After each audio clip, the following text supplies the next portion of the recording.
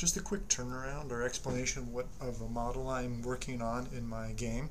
We have the inside archway, we have the main building, we have the roof, we have the second roof, we have the bell tower, the uh, roof on the bell tower, and we have the windows and the external arches. Quick turnaround right here, see what it looks like, and exit out of full screen mode.